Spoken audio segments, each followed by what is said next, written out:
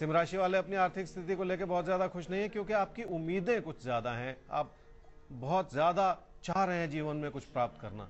तो ये जो तनाव आपने खुद अपने लिए बना रखा है, ये ठीक नहीं है।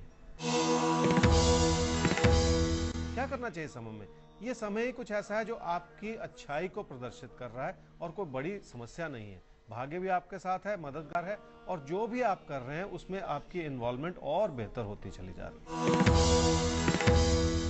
ना करें समय में। आप अपने असंतोष को किसी भी तरह से इतना हावी ना होने दें कि इससे आपकी इन्वॉल्वमेंट में कमी आ जाए। देखिए, आपका प्रदर्शन जो है, उसे बनाए रखना है और किसी भी तरह की घबराहट इससे जुड़ी हुई बिल्कुल ठीक नहीं।